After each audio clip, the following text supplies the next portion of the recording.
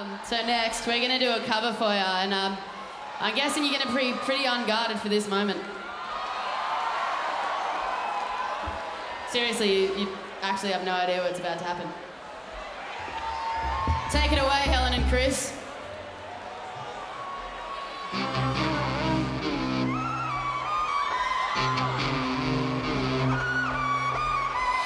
Baby, can you see